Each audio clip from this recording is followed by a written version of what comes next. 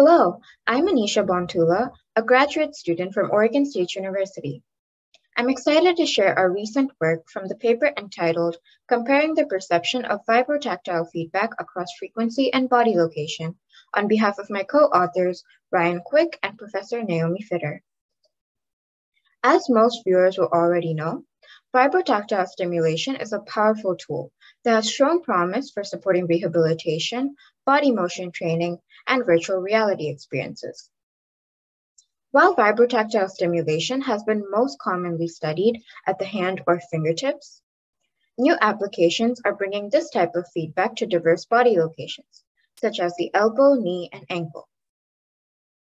To understand these haptic sensations across the relatively unexplored areas of the body, we sought to characterize perceptual vibration thresholds across selected vibration frequencies and body locations.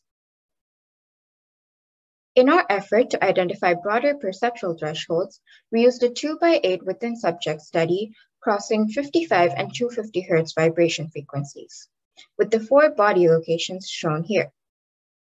Vibrations were delivered using an MM3C voice coil haptic actuator from Tactile Labs.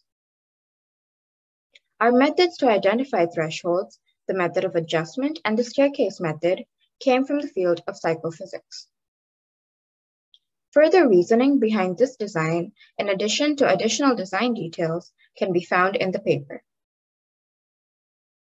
The results are likewise further elaborated in the paper, but we wanted to touch on two key results here. One insight, as shown in this box plot, where the brackets denote significant differences, is that the 55 Hz signals were significantly more perceptible than the 250 Hz vibrations. They were perceived at a much lower magnitude. Perceptual threshold differences across body locations are shown here, where A and P denote the anterior and posterior sides of each investigated joint.